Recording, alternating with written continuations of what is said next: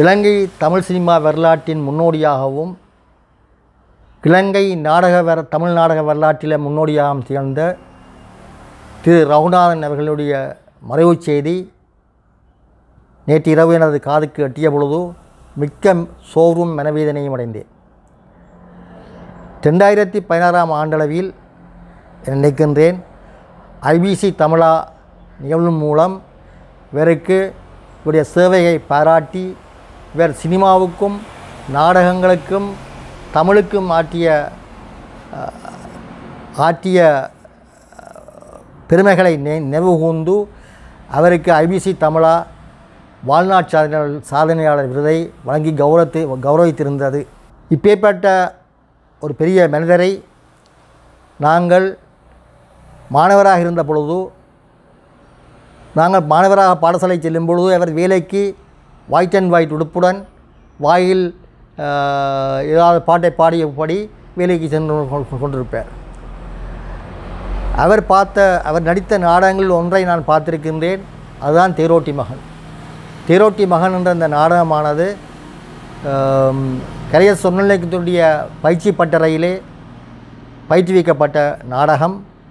பல திறமை திறமையான கலைகளின் கூட்டு கூட்டுடன் அது மானிப்பாய் அரங்கத்திலே அரங்கேறிய பொழுது நாங்கள் மண் கும்பல் இருந்து அந்த படத்தை பார்த்து ரசித்ததை இன்று கூற எனக்கு மனதிலே வந்து போகின்றது சிறந்த நடிகன் ஆஜானுபாவமான தோற்றம் அழகிய உருவம் எவ் எல்லோரையும் கவர்ந்திருக்கின்ற பண்பு அவரிடம் இருந்தது.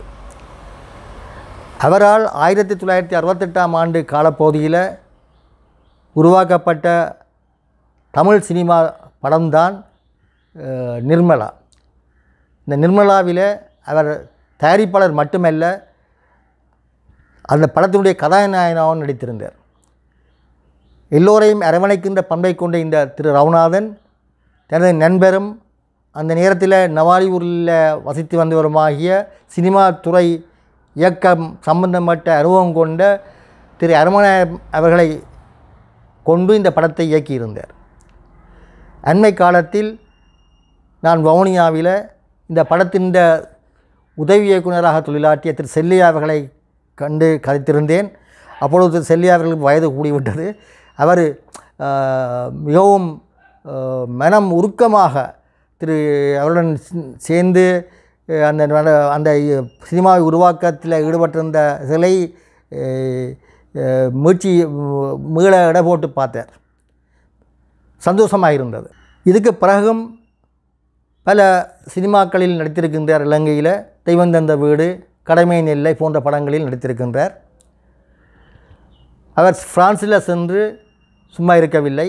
ஃப்ரான்ஸ்லேயும் தமிழுக்காகவும் தமிழ் வளர்ச்சிக்காகவும் சினிமாத்துறை வளர்ச்சிக்காகவும் நாடகத்துறை வளர்ச்சிக்காகவும் அரும்பாடுபட்டிருக்கின்றார். இதனால் தான் என்னவோ ஆய் ரெண்டாயிரத்தி பதினாறாம் ஆண்டில் ஐபிசி தமிழா நிகழ்வின் பொழுது அவருக்கு சாதனையாளர் வரு வாழ்நாள் சாதனை விருது வழங்கி கௌரவிக்கப்பட்டிருந்தார் ஆஹ், இப்பேற்பட்ட ஒரு மனிதர் தான் தன்னுடைய உயிர் மூச்சு அவருடைய உயிர் மூச்சாக இருந்தது நாடகம் சினிமா தமிழ். இப்பேற்பட்ட மாமனிதர் ஒரு பெரிய மனிதருடைய இழப்பு கலைத்துறைக்கு ஏற்பட்ட மாபெரும் வீழ்ச்சியாகிறது என்று அவருடைய இந்த உயிர் மூச்சை நாங்கள் எல்லோரும் கலைஞர்களாக எல்லோரும் கருத்தில் கொண்டு எல்லோரும் ஒன்றுபட்டு இந்த கலைத்துறை வளர்ச்சிக்கு பாடுபடவன் பாடுபடுவதன் மூலம் அவரின் ஆசைகளை நாங்கள் நிறைவேற்ற முடியும். என்று கேட்டுக்கொண்டு அவருடைய இந்த உயர்ந்த ஆத்மாவானது இறைவன் சந்நிதியில் சாந்திநிலை அடைவதா அடைவதற்காக மனதார பிரார்த்திக்கின்றேன். வணக்கங்கள் பல.